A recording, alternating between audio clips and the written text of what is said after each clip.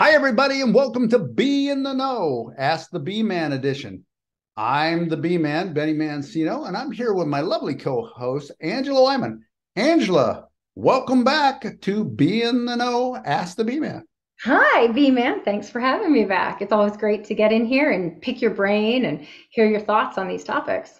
Okay, so t- tonight, today, this afternoon, whatever it is, uh, I have no idea where this question was secretly held, and I, I guess you do. So I, you're going to tell tell us the viewers where where this secret envelope with the question was held until you uh, was delivered to you by our favorite uh, uh, auditor group of Anderson and Anderson. Well, it was deep in the dark recesses of the most jungly jungle you can possibly imagine. My houseplants. Really? Yeah, someone had managed to sneak, and I, you guys know I'm great with animals. I'm terrible with plants. I mean, it's just an overgrown swamp. So uh, yeah, somebody managed to sneak in there somewhere between the ficus and the aloe plants, and magic. Did it, get up. wet? Is it wet? Can you read it? Well, I can still read it. So okay. if you're ready, I will give you this one. All right, go ahead. I'm I'm I'm can't wait. All right. E-man, you preach time and motion. My boss ignores these conversations and my suggestions. What do I do? Oh, man. Okay, other than get a new boss? Okay, now I'll let Benny actually answer the question. Yeah, you got to come work for me because I do believe in time and. Well, you know what? You know, anytime at uh, uh, you got to be, you got to tread lightly. You really do but I might bring up in the conversation that you know a lot of people uh, really didn't understand the power of uh, time and motion until we hit the pandemic, right? So now we got we got the pandemic and we got the shields up on the table, and most jurisdictions limited players to three on a game or four on a game at the most, right? And uh, of course, uh, there's places where there'd never been a $25 minimum game in the world. They'd always been five and 10, and now they're 25. Mm-hmm. And still, the finance people all, you know, budgeted that the, the revenues were going to be much less. Well, to everybody's surprise, oh, surprise, the the the revenues were gigantic. You know, they were making more money in table games with three players betting $25 than they had ever uh, made with 14, 15, 16, 17, 18 tables with seven players betting $10. Well, shock of shocks. Well, that proves right there the power of time and motion. More rounds with uh, more money is going to create more Theo, and Theo is realistic win. And at some point in time, the numbers bear out. You know, you could get beat one night and not get beat, but in the long run, whatever amount of money you put through, you're you're going to hold whatever your house advantage is, where you got a six to five game or three to two game or whatever. You're going to hold that percentage on, on that money. So the faster you move the game, the better, right?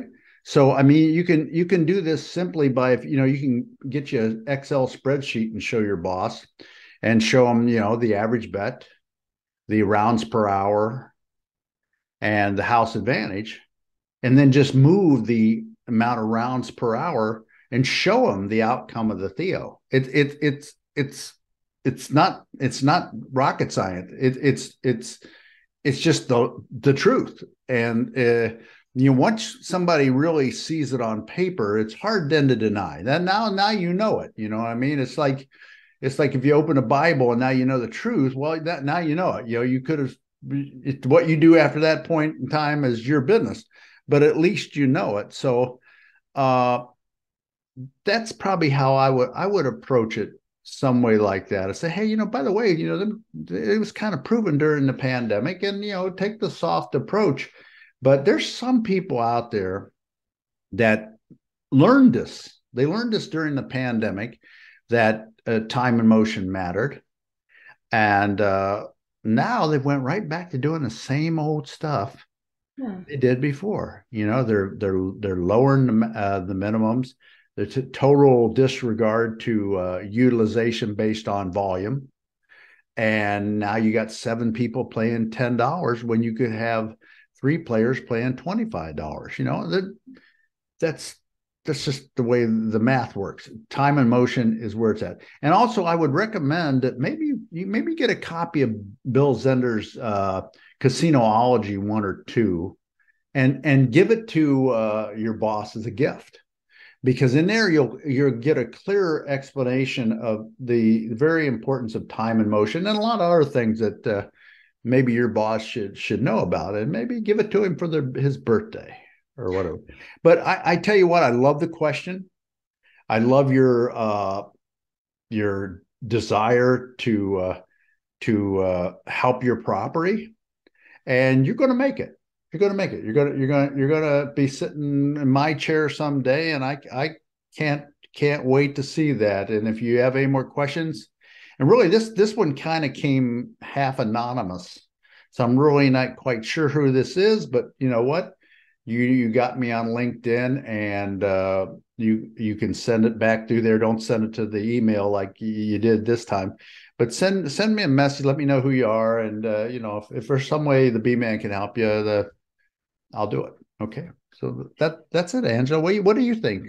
Well, I think right there, that last bit you said is actually a really important kind of codicil on the whole answer that you gave, and that is okay, maybe your boss is just a bonehead. Maybe your boss has given up but there's a heck of a lot of people in this industry who do still care about the industry and who will care about your career development and your personal development, i.e., somebody like Benny. Mm-hmm. So find someone else. So, and I mean, I hate to say, yes, try with your boss, absolutely. And you know what? If that's just not going to be the person, then that's not the person. Don't give up. Like, just that would be a big thing. But find somebody. And, you know, you found a great way in right here, but even maybe more locally, maybe talk to just a different shift manager or just someone else in those positions in your casino because somebody will care. Yeah. And, uh, you know, if you get the knowledge later on, you get the chance, pay it forward. That, that, that's Absolutely. all. That's all you you got to expect in life. You got to leave something behind because you know you're not going to take much with you.